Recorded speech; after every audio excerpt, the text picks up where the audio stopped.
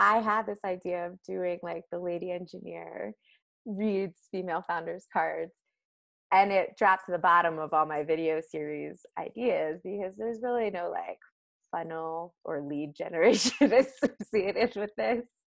But then this weekend everyone's stress kind of reminded me of 2016 when trump was elected and i read people's cards then and so i was like mm-hmm. i'm gonna do it now.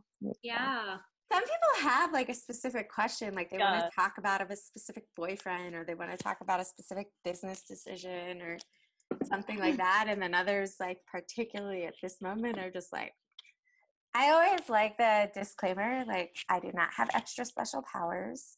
Mm-hmm. I cannot see into the future. I cannot connect with your ancestors. I am not a medium for anyone or anything.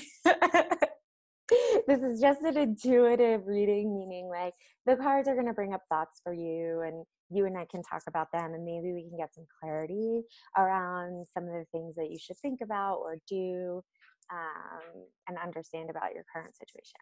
Hmm. Like if I were to have said, this is what I'd like my reading to tell me and validate for me, I couldn't have asked for more specific things in this. So it's it, it's feels good.